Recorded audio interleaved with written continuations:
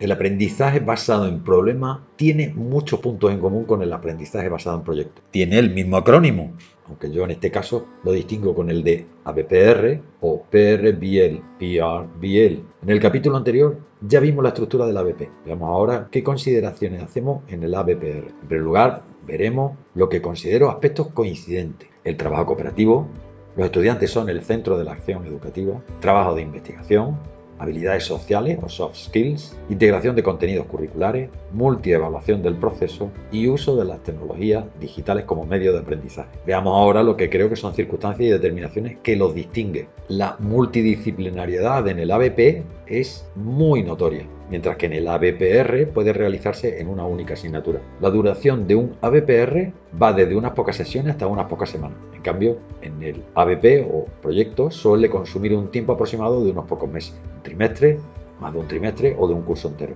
En el aprendizaje basado en problemas los pasos están bastante marcados por el docente.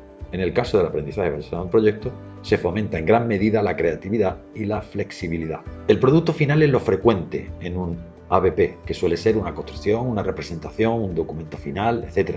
No es así en el ABPR, donde generalmente se busca una respuesta a una pregunta planteada como problema, aunque también puede crearse un documento o un prototipo. En el aprendizaje basado en proyectos se plantean problemas de la vida real, en cambio en el ABPR a menudo utiliza estudios de casos o escenarios ficticios como problemas ilustrados. También puede ser diferenciador el número de estudiantes pertenecientes al grupo de trabajo. Al trabajar en proyectos, lo habitual es de 4 o 5 y al trabajar en aprendizaje basado en problemas, estos grupos cooperativos pueden ser bastante más numerosos. En el ABPR se reitera mucho el contraste de opiniones. Por contra, en un aprendizaje basado en proyectos es una constante que aparezcan la organización, la planificación y un producto. Para llevar a tu clase un aprendizaje basado en problemas, con los grupos de estudiantes ya formados te recomiendo los siguientes pasos y características. En primer lugar, presentación del problema. El diseño debe despertar interés y motivación, debe reflejar una situación de la vida real. En segundo lugar, hay que definir o formular el problema, escribir un enunciado del problema descriptivo y fácil de entender.